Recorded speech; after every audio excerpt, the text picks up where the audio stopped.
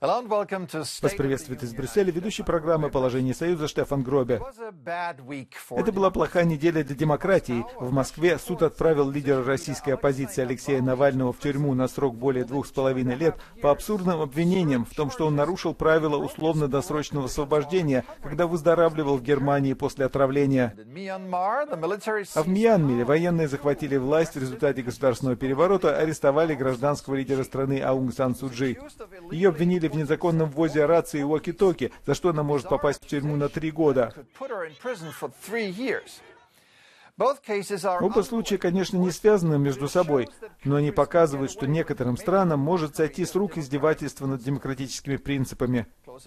А здесь Еврокомиссия продолжала бороться с последствиями задержек во внедрении вакцин. Вакцинация отстает от графика, потому что фармацевтические фирмы не выполняют своих обещаний и производство идет недостаточно быстро. Сейчас в Европе звучит много обвинений по поводу того, как разные игроки справляются с кризисом. Председатель Еврокомиссии Урсула фон дер Ляйен попыталась прорваться сквозь шум, напомнив всем, что поставлено на карту. Наш противник – это вирус, и фармацевтическая промышленность является частью решения этой проблемы.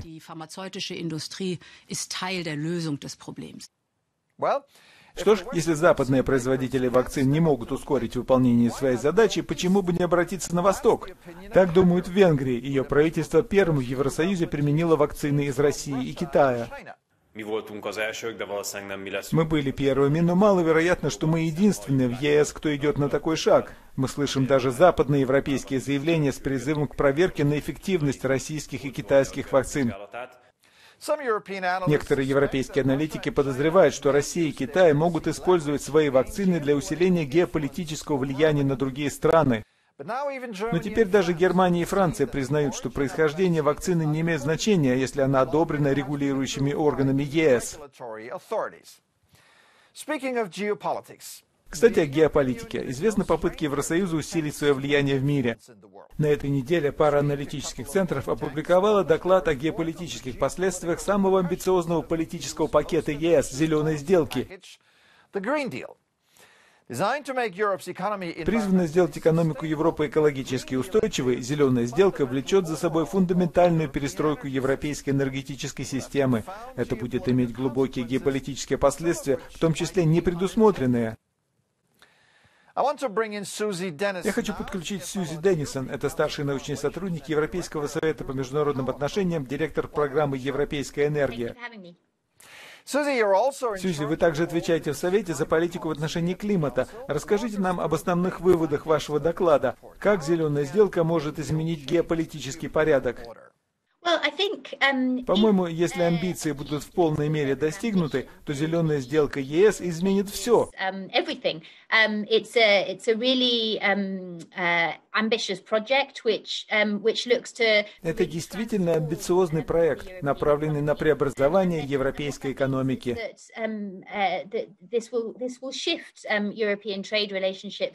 Он изменит торговые отношения Европы с другими странами и регионами, с теми, от кого мы импортируем энергию, с теми, у кого мы импортируем сырье и более сложные товары.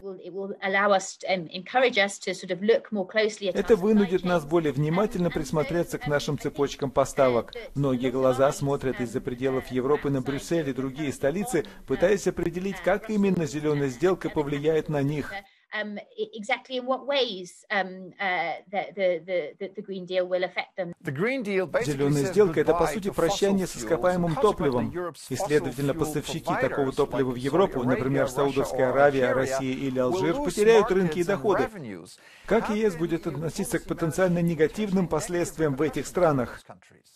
Um, Мы должны четко понимать, что в будущем мире будут победители и проигравшие с точки зрения обеспечения энергией. Но Парижское соглашение – это глобальная цель, поэтому реализация зеленой сделки – это своего рода попытка ЕС выполнить свою часть пакета мер. Delivering the Green Deal is, um, is, is the EU sort of trying to deliver its part of that package. Но это также должно быть частью более широких глобальных усилий. Европа ведь не может выполнить эти свои задачи без активного участия других. Мы не единственный потребитель углерода. ЕС находится в энергетической зависимости, скажем, от России или Китая, из которого также поступает сырье для чистых технологий.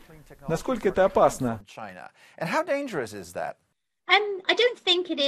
Я не думаю, что все так однозначно. Элементы того, что вы назвали, безусловно, существуют. Но есть и другие интересные рынки сырья, которые будет необходимо для производства возобновляемой энергии. Я думаю, что Европе необходимо очень внимательно взглянуть на свои отношения, например, с африканскими государствами. Штефан Гробе благодарит Сьюзи Деннисон, старшего научного сотрудника Европейского совета по международным отношениям. Борьба с изменением климата, конечно же, включает защиту флоры, фауны и их естественной среды обитания. Но уделяем ли мы достаточно внимания благополучию наших домашних животных?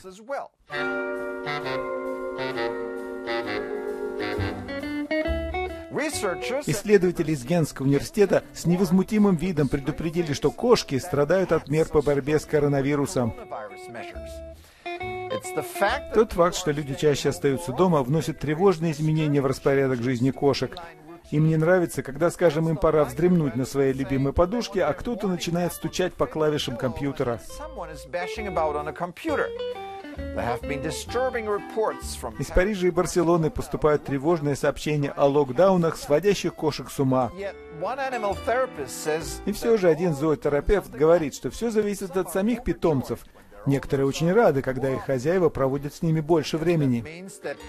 Наверное, можно заключить, что в этом кошки похожи на людей. В этом выпуске все. Я Штефан Гробе. Спасибо, что смотрели. Отличной вам недели.